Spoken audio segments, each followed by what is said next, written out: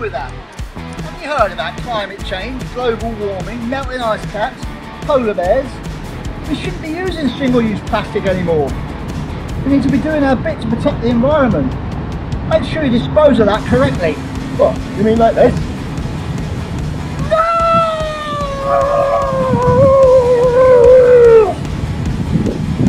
No, I didn't mean that. Next time you need to use one of these vacuum water bottles. It's good for keeping warm water warm and cold water cold for up to 12 hours. You can easily print them with white toner technology and CPM transfer.